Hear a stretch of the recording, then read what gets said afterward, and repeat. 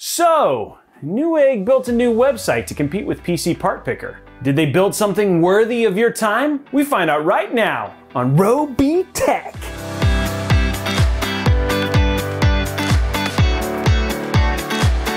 What's up, guys? My name is Justin Robey. I'm the host of Robeytech, and welcome to the show. Today, we're taking a look at something new. Uh, relatively new. I've been a part of helping Newegg build this PC builder now for a while, and they just released their beta version about a week ago. In fact, I think one of the things that I like the most about this whole thing is that the uh, is that Newegg is giving you, the PC enthusiast, the opportunity to jump in here and help them make something truly awesome. Now, the thing that we're talking about is we're talking about a direct competitor for the first time to PC Part Picker, which has kind of been the bread and butter for most of us when it comes to building PCs. Now, when you think about it, I don't know, I probably have built, I don't know, over 100 PCs on PC Part Picker, including getting to share images and all those other things. One thing that you don't get with Newegg's PC Builder is you don't get the option to look at the price across multiple different websites, like for instance Amazon, B&H, and Newegg. With Newegg, you're literally just looking at Newegg. So when they thought about building this for the first time, they had to think about how they could one up that whole experience when you're building for the first time. So let's take a look.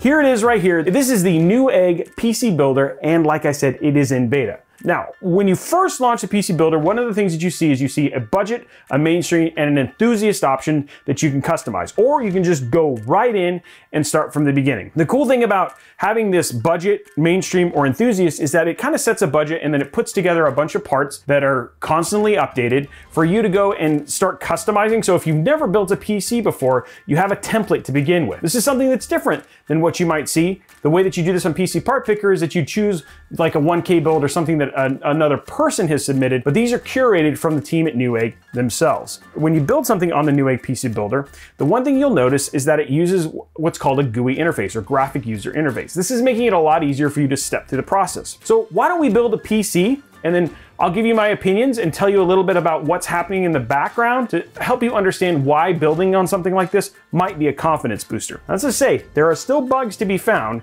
but they are working a lot of them. And at the very end of the video, I've actually got a bunch of things that Newegg has sent me to let me know the things that are being modified and fixed in the coming days or in the coming day or weeks that should make this, this, this tool even better as we go through here.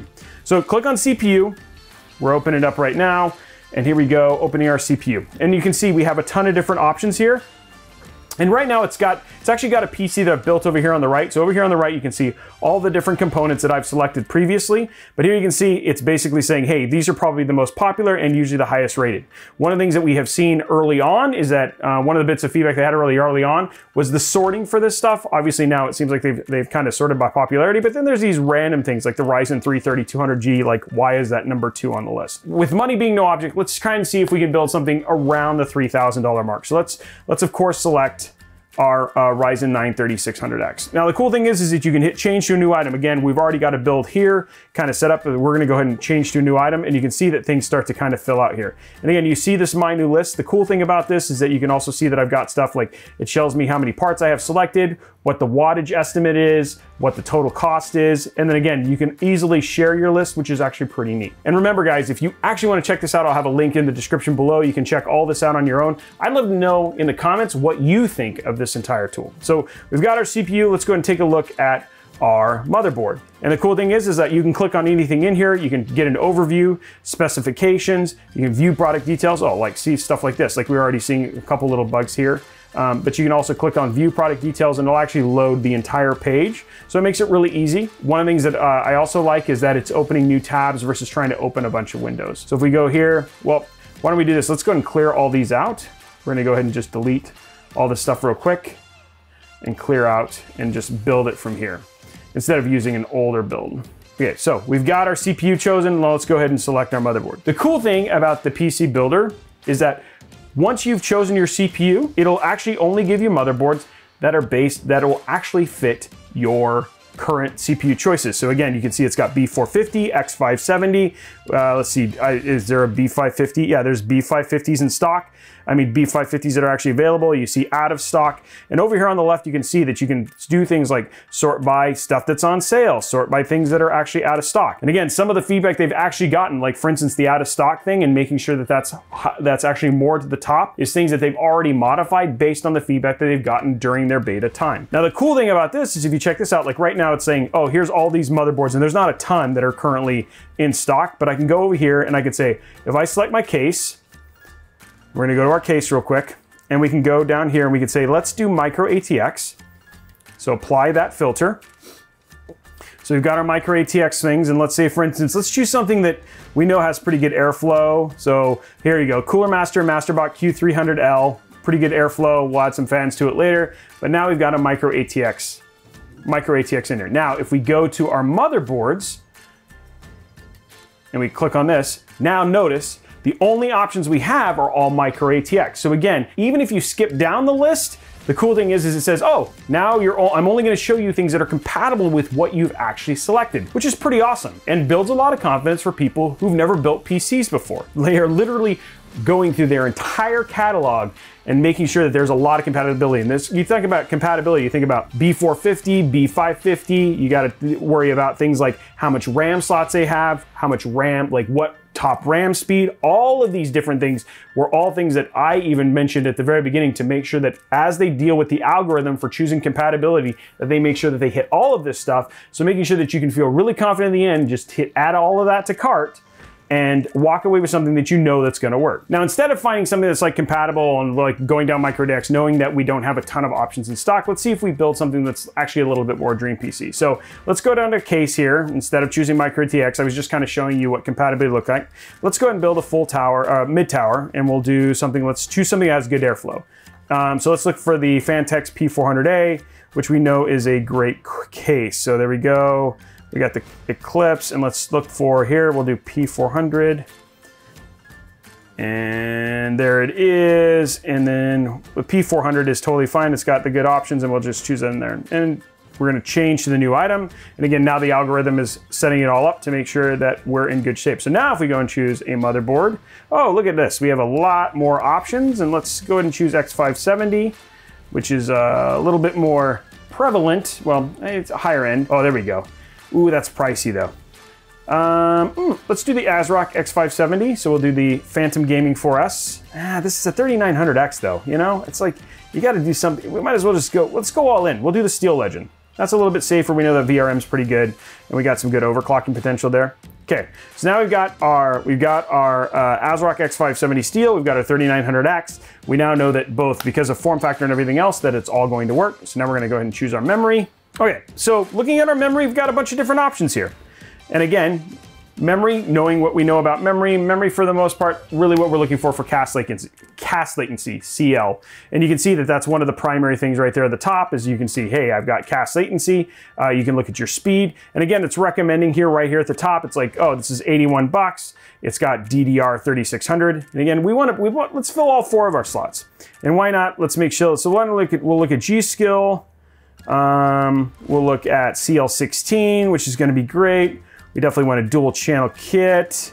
And let's see here, we'll do DR, we'll do DDR4 3600, which is ideal for um, our Ryzen CPU. Okay, so here we go. We got some 32, and let's fill all four of those slots. So let's see, do we have a four by, there's a four by eight G.Skill Trident Z, uh, 3600. That's great. There we go, got that in there. And now we have all four of our slots. And again, it's looking and knowing, it's looking and knowing, hey, these are things that are definitely going to work. Okay, one thing I almost forgot about right here is uh, the ability to sort. So we are talking about CAS latency here. You can actually sort by CAS latency. So you can sit there and you can, here we go, we have it set to 19, you can set to 14. And I was talking about, hey, I'm trying to find, you know, four sticks uh, to fill up all the modules like I had before. You can actually sort by module number. So here's 64 gigs at 4 by 16. You can look at color, speed, all that sort of stuff. And these, uh, the ability to sort is actually a huge part of being able to find parts easily, including, you know, like, okay, well, what's the cheapest I can get? Now, I'm gonna talk about things that they're, they're improving later on. One of those things is the fact that right now the sort is actually only per this page. Uh, here very shortly, um, when you sort, you'll actually sort across the entire search criteria. So that way, like if there's something that's hidden back here on like page seven, that'll also sort to the top as you're looking for specific things. So another big part of helping you and um, a cool, neat little uh, uh, trick that you can use when you're actually building and using this tool for the first time. The best thing about this is the other thing that it keeps into account when we choose GPUs is it knows how long, how long of a GPU and how thick of a GPU we know we can fit in the case. So we're only getting recommendations here for GPUs that actually know that we fit inside of the P400. Now, given that we got a 3900X, we want to make sure that we're using a 38, uh, sorry, a 2080 at least. But let's let's let's not go too crazy. Let's go and do a 2080 Super. That feels good and probably something from EVGA or Asus. Seem good to you guys? You feeling pretty good about this? So we got good options there. We got EVGA, we've got the G, the Super Video card. Um, we got some stuff from EV, some stuff from MSI. We want something that's looks pretty good. There we go, right there. The Gigabyte Aorus GeForce RTX 20 2080 Super. Love the look of that card, and it looks super good. Um, and we got that in there. Ooh, wait a minute. What do we got? Ooh, yeah, and, and it's got our yeah, we got RGB in there. We got we, so again, overall spent 800, 1820 bucks. We can share this at any point in time, and you can see right here. Not only do you not only do you see what you've selected, but you actually get a pretty good view on the right hand side of what it is that you actually chose. So now next up, we're going to go ahead and choose a power supply. And again, it's taking into the fact that we're already using 460 watts, so we're getting 650 watt. Uh, 650 watt, 750 watt. Again, noticing that we're actually getting PSU recommendations for power supplies that we know are going to work with our, our GPU CPU combination. Um, want to make sure we choose something good. So we got some Phanteks. We got the Revolt. That's a little crazy. That's a thousand watt, but we know that'll definitely work. Um, why don't we do an EVGA? I know, I'm guessing that the Corsair ones are probably pretty low on stock. And we want, you know, given that we're using a we're using a 3900X, we probably want to make sure that's gold certified. So let's let's filter by that. And up we have, oh, there it is right there. The 750, we'll do the 750X, which is more than enough power. And we're cooking with gas. So now we go to storage, and the cool thing about this is we're gonna get a nice little pop-up here, lets you know if you wanna do a hard drive or an SSD, and you can always go back. We're gonna go and choose SSD. And then this is where you can get your options for your M.2s. And remember, whew, check this out. It says, oh, you know that you've got PCIe 4. So right there at the top, we've got the MP600, which is a PCIe 4 uh, M.2 drive. And then of course over here we can shoot, we're gonna go ahead and filter by M.2. Uh, we're gonna want, you know, we're, we're gonna want a couple, a couple in here, but let's go and just choose like a nice, just for simplicity's sake, uh, let's choose that one terabyte. Let's do a one terabyte. Yeah, that seems pretty good. One terabyte PCIe 4. And you and you notice the option here. It's like if I wanted to, if you're like, okay, I've got a one terabyte here, but you, you got it in there, you actually could see and it'll add an additional. So we choose another SSD. Let's throw a 500 gig. Why not? It's not real money. Nothing's real money. Okay, so we'll throw, well, let's, let's PCIe at four. We've got X570, so we got PCIe 4 on all channels. And again, it'll let you add an additional uh, if you wanted to. Um, but now we've got our we've got we've got uh, one and a half terabytes of M.2 space. Of course, we could also it'll add drives because it knows how many physical drives and stuff like that. Okay, so I'm now going in there and I'm like, okay, I've got my 3900X. And let's uh, let's choose a new case. Still want Phanteks, but you know what? Let's let's choose something a little bit more on the upper end. So I'm a huge fan of the P600S. Again, you can open all the open all it up, get a good at airflow. So let's go and choose our P600S there um, change to new. Now check this out. When I go back to my CPU cooler and I select that, now I get the option. Do I want fan or heat sink or do I want a water cooled kit? And of course, I've got a 3900X. Of course I want to water cool this thing. So now we get a bunch of options. We can look at ratings. Um, it's telling you your fan RPM, how much noise you're looking at. Um, of course, we're going to choose something that we know is going to be overall very, very quality. So let's go ahead and choose our Corsair. Um, over our H100, which is always one of my favorites. Throw that in there, and I'm feeling pretty good. And then the last thing, of course, is our operating system. And we'll throw a Windows 10 Pro in there. And boom, just like that, we now have an entire list built. Now, with this, not only do we have the entire list built, you can actually hit just save that list.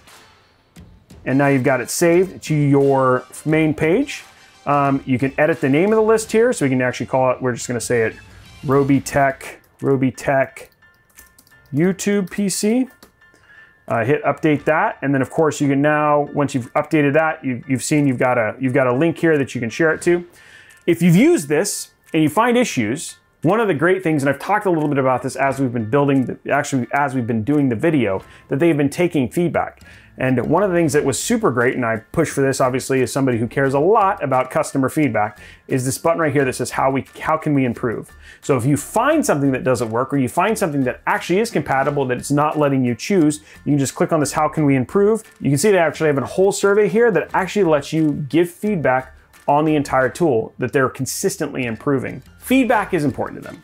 And one of the things I talked about earlier on was just how they have improved this over time. So they actually have a ton of fixes in the pipeline that they're going to be releasing over the next couple weeks. Things like it will now show out of stock items. And we're gonna add the ability to actually add that item uh, coming on 629. How you can improve button now has a survey that users will be able to fill out. So more than just the what you like, there will actually be a full survey. So if you really wanna give detailed feedback, you'll have the option there, which there, the number of, the amount of feedback they've gotten has been so important in terms of shaping the tool, which I think is awesome. Number of RAM sticks and DIMM slots is now, is gonna be fixed. So like you can basically, it'll, it'll basically make sure that it's giving you the right recommendations. Incompatible products should be all gone. They've been weeding through it for a while, but they're making sure that that's being taken care of. Options to filter by on sale, in stock, and ship by Newegg, which I think we've actually seen some of those buttons already even today, but those, have, those are being added. The current sort function only sorts the items on the page you're looking at, not all pages of items, so that's being fixed. So when you hit sort, it'll actually go across all pages and make sure that it's sorted versus just the page you're on. There's gonna be more sorting options.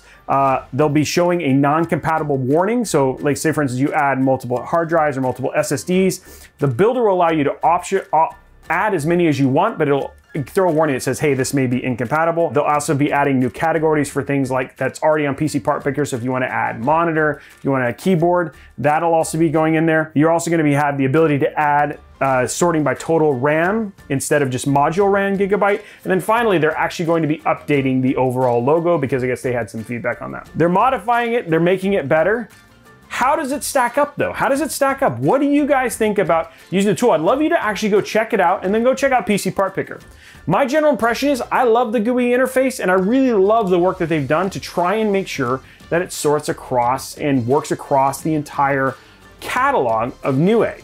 But where we see limitations is again, Newegg is only just one place, right? And so when you're talking about, when you check over on PC Part Picker, you've got, you know, you can check in stock at B&H, at Newegg, at Walmart, at Best Buy, also over at Newegg. I mean, that stuff's already there, right? And so when you're trying to find the cheapest, they may not be the cheapest. So where they're trying to make sure that they're coming out on top is that they make sure that you're absolutely sure it's compatible. What did you think of the Newegg PC Builder? Would you like to give feedback? Did you like the tool? What did you think it was in terms of comparing that versus PC Part Picker? Did you feel confident after you built your PC build that you were sure it was gonna work? I'd love to know all of that stuff in the comments below.